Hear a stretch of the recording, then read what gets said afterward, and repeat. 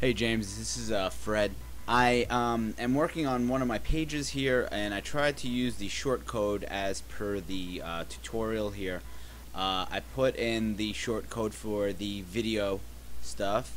Um, I put in my URL uh, for my uh, my Amazon S3, where you know my URL where the video is hosted at. Um, everything as far as I can tell seems fine. I have the control bar set to bottom, which is fine. The width 640 is fine by uh, 360. Everything seems to be alright.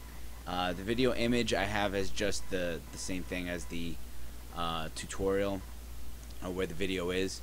Um, and but the problem is, is after I've done all that and then I bring it up on the actual page. Let's go and view the page after it's been saved and all that stuff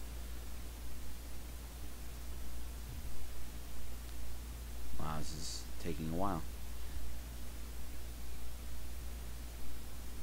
The short code does not show up down here. Uh, the the video should be in between these two space bars and they don't show up. Uh, the other issue I'm having is that uh, for some reason the code, the HTML code on this uh, on this banner keeps driving it over to the uh, to the right side over there. Um, I'm not really entirely sure why that's happening, but that's kind of a side issue, and I can always figure that out on my own at some point. I'll just do that and see how that changes things.